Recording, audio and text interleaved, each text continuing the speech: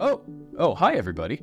Didn't see you there. I was just uh, checking out some pretty impressive new stuff in a test environment.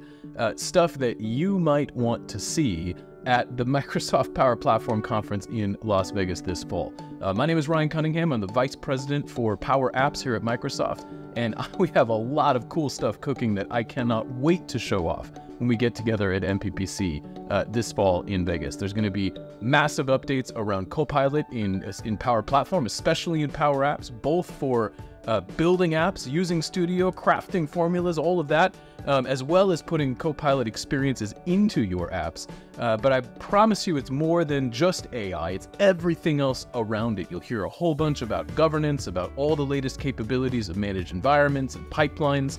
Um, and some pretty cool new stuff in that space that's uh, brand new and is going to completely expand what's possible for governance at scale. You'll hear a lot about mobile, you hear about frontline workers, and so much more. Uh, but I tell you what, what I'm most excited for about getting us all together in uh, you know one conference center in uh, in Las Vegas is getting us all together in one place. You know, thousands of people just like us. You know, at every at every level of type of organization, you know, large and small, advanced and basic, all coming together to share experiences, meet each other, talk about what we're doing in Power Platform, um, and really imagine the future together.